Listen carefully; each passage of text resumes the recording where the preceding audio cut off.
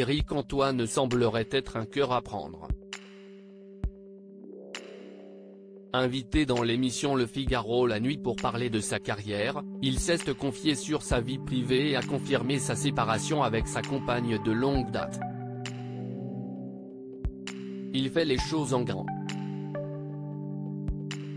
Éric Antoine sera prochainement sur scène pour clore sa tournée grandit un peu.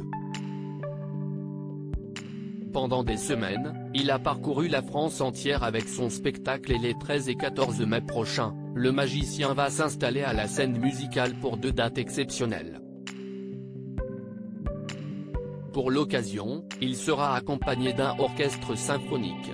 Une bonne manière de rendre encore plus spectaculaire ses sketchs de magie. Pour nos confrères du Figaro, l'artiste a accepté de revenir sur sa carrière.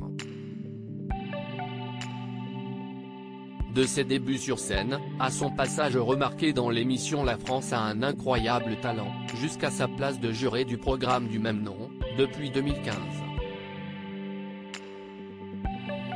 Il en a fait du chemin jusqu'à la scène musicale et il a pu compter sur le soutien de sa femme, Calista Sinclair ou plutôt de son ex-femme comme il le précise dans l'émission. Elle a été pendant mes trois premiers spectacles moi, je suis une espèce de touche à tout. J'adore la mise en scène, j'adore l'écriture, j'aime l'humour, j'aime la magie, mais j'aime aussi le roman, le cinéma, la musique. Si est-il la complémentarité des talents qui fait la qualité d'un spectacle?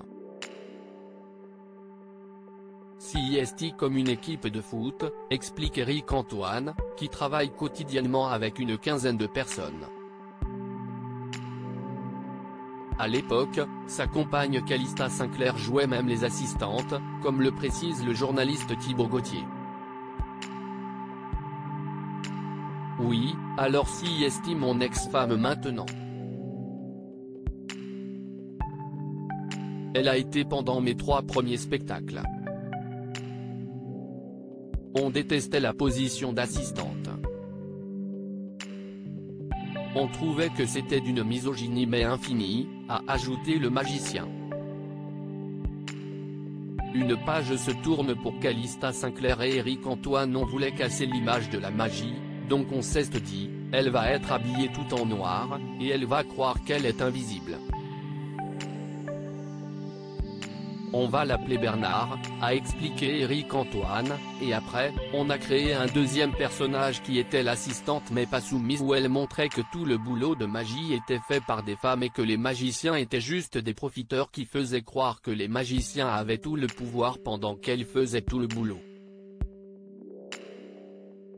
Ça, c'était très chouette, très rigolo à faire. Après plus de 20 ans de relation et deux enfants, le couple a donc décidé de se séparer. À lire aussi elle m'a dit.